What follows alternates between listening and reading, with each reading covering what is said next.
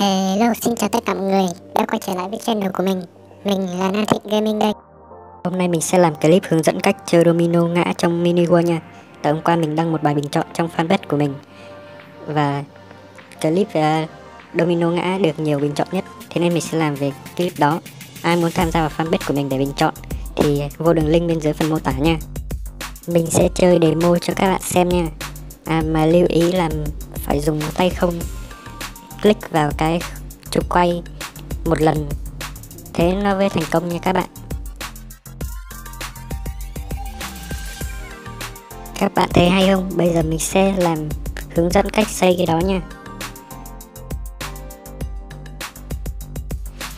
Đầu tiên hãy đặt một cái block, sau đó lấy trục quay, đặt lên block đó sao cho trục quay hướng về người mình. Sau đó sẽ đặt hai block. Và trên đỉnh là hồ đá điện. Thế là hoàn thành bước đầu. Khoảng cách của mỗi quân domino là 3 block.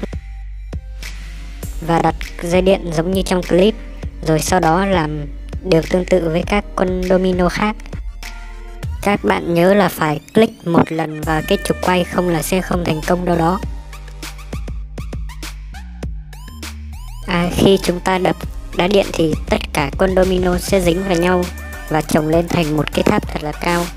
Thế nên các bạn nhớ khi chưa làm xong thì đừng có đặt đá điện vào nha đập đá điện thì nó không trở về trạng thái ban đầu được đâu.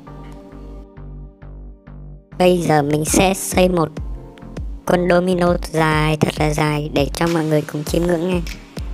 À mà nếu thấy clip này hay cũng như trò chơi này hay thì các bạn nhớ ấn like và đăng ký cũng như share và tham gia fanpage của mình để các bạn được bình chọn vào các clip tiếp theo nha. Hôm nay mình có sử dụng app chỉnh sửa giọng không biết nó có hay hơn giọng của Google AI không? Nếu hay hơn, hãy bình luận để mình sử dụng giọng này trong các clip tiếp theo nha.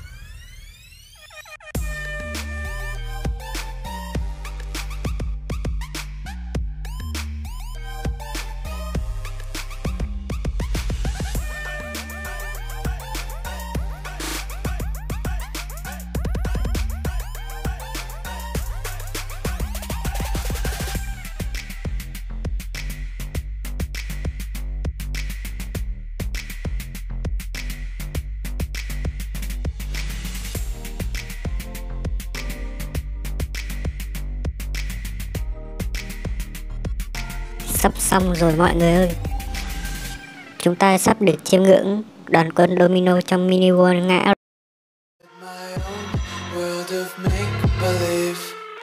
Kids screaming in the cradles, profanities. Some days I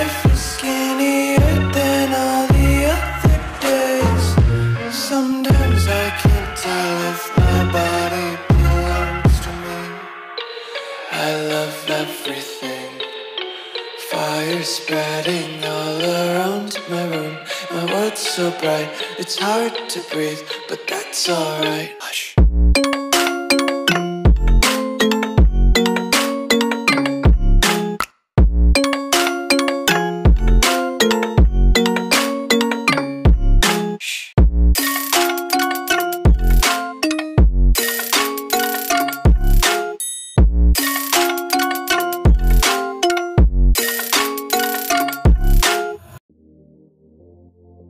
Là đẹp có đi, mọi người hãy thử trong game nhé.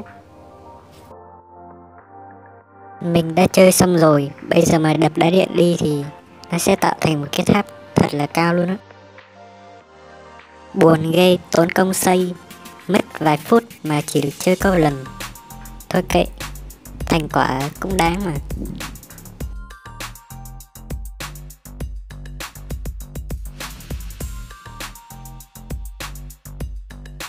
Ok Đến đây đã là hết clip rồi Nếu bạn nào cảm thấy video hay Hãy nhấn like và subscribe Nếu bạn nào cảm thấy trò chơi này hay, hãy chia sẻ cho bạn bè để mọi người cùng chơi chung cái trò này nhé. nhé.